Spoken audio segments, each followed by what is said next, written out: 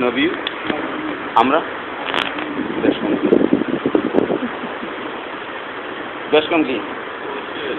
হ্যাঁ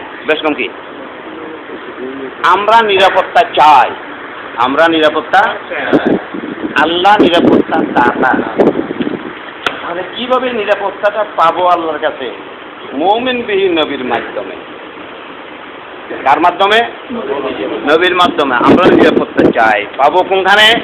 আল্লাহ বলে, যা আমার বন্ধুর কাছে। আমার নবীকে মানলে আমি তোকে নিরাপত্তা দেব। নতুবা নিরাপদ স্থান আর নাই। হ্যাঁ? আল্লাহ নিরাপত্তা, দাতা, আমরা নিরাপত্তা। গ্রহিতা নবী হলেন নিরাপত্তা পাওয়ার মাধ্যম, আল্লাহ থেকে নিয়ে বন্ধাকে দেবে বুঝতে পেরেছেন? পারছেন আপনারা ভালো করে বুঝিয়ে নিন। আবার আবার বাইরে গেলে কোনো লড়ি চড়ি যায় নাকি? আল্লাহ থেকে লড়ি তো আছে বলুন। কি কন না? বুঝতে পারছেন? হ্যাঁ? তাহলে দেখা গেল ইমান মানে নিরাপত্তায় পৌঁছে যাওয়া। নিরাপত্তা? তো তাহলে এক আল্লাহকে মানলে, নবীর মাধ্যমে নবীকে মেনে আল্লাহকে মানলে সে নিরাপদ পেয়ে যাবে। যখন নিরাপদ পেয়ে যায় মৌমেন, তাহলে তারা নমাজের আবার এহসানের দরকারটা কি?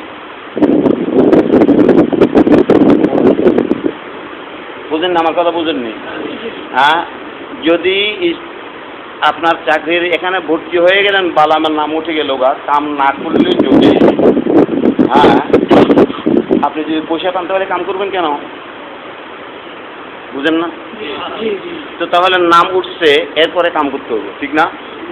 কাম করতে হবে না আল্লাহ বলছে, না তুই ভুল করিয়া লাইছস কাম করস নাই। আমার নবীকে মানছস তারপরেও তোরা আমি নিরাপদ দেব। তাহলে পার্থক্য করে দিচ্ছে দুনিয়ার মানুষ এমন কোনো নাই তার দপ্তরের নামটা আপনার উঠাবে এবং আপনাকে তার মাইনা দেবে। আছে কোনো ব্যক্তি এমন দয়ালু আব্বা আছে কিনা? হ্যাঁ করে আর বিদেশে থাকি, টাকা না দিলে তো তুই আমার বুঝ না হ্যাঁ? ঠিক না? আল্লাহ কয়, আমার বন্ধুরে মানুষ, তাহলে আমি তোর পক্ষে না। বলছিলাম বৈজ্ঞানিক যুগ হ্যাঁ?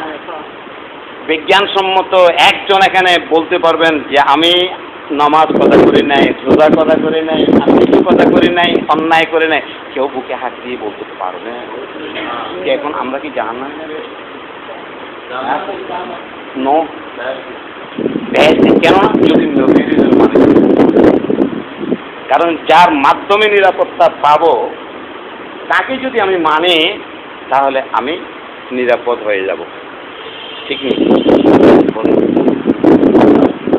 হুজুরে বসে নামাজ না করলে জাহান নামে যাবি, মা বাবার খেদমত না করলে জাহান নামে যাবি। হ্যাঁ ঠিক না? ঠিক না? সবাই কইছে, আমিও কই হ্যাঁ? তাহলে আবার এটা কোন কেন? এটা বলছি যদি কোনো কেউ ভুল করে, নবীর পক্ষে আসে হ্যাঁ এর মধ্যে একেবারে সত্য দৃঢ়ভাবে আছে আল্লাহ নবী তার পক্ষে আছে তার পক্ষ নিয়ে আসে আল্লাহ তোরা নিরাপত্তা আমি দেবো। তোকে নিরাপত্তা আমি দেবো।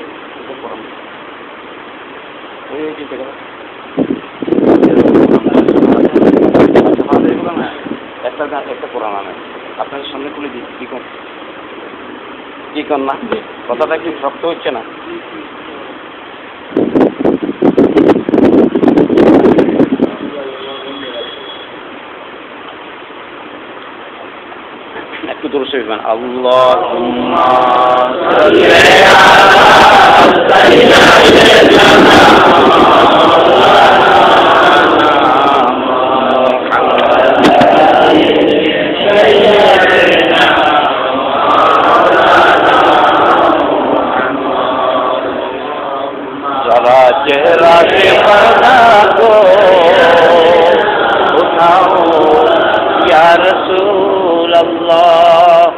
हमें दीदार तुम अपना दिखाओ या रसूल अल्लाह अल्लाह।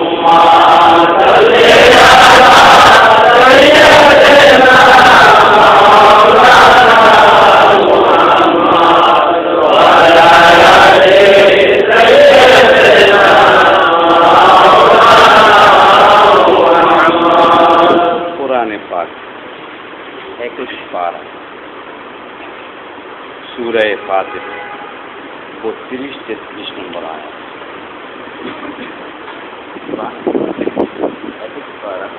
সুরায় ফাতির বত্রিশ এবং তেত্রিশ নম্বর আমরা একটু পড়ি না পড়ি না। আমরা আসলে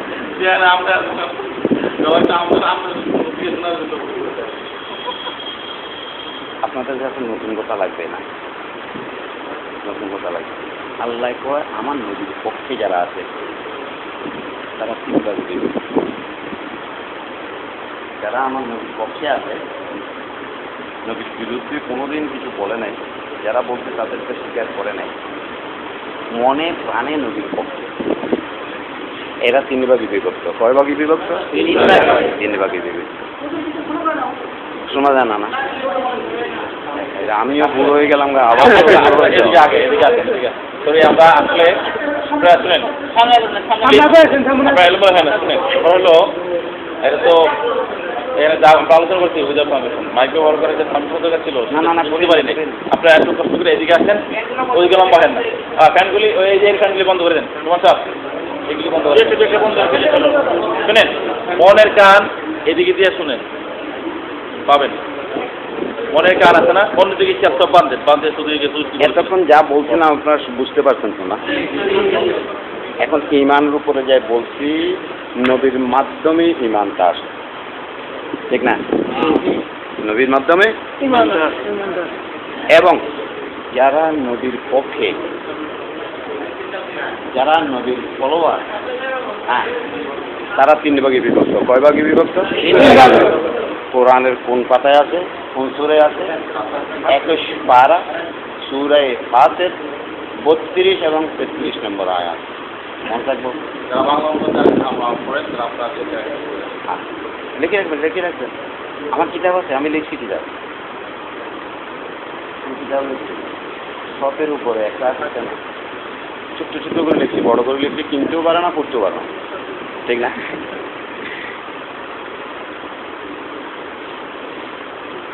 আল্লাহ কি বলতেছেন ثم أورثنا الكتاب الذين اصطفينا من عبادنا فمنهم ظالم لنفسه ومنهم مقتصد ومنهم سابق بالخيرات بإذن الله ذلك هو الفضل الكبير جنات عدن يدخلونها يحلون فيها من أسافر من ذهب ولؤلؤا ولباسهم فيها حرير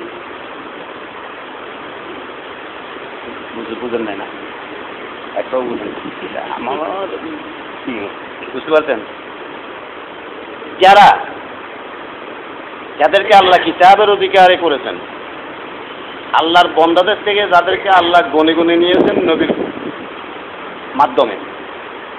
অর্থাৎ যারা নবীর পাগল, যারা নবীর পাগল, তারা তিন ভাগে বিভক্ত। একটা দল ফামিন হুম একটা হলো যে কি, আত্মার উপর অত্যাচার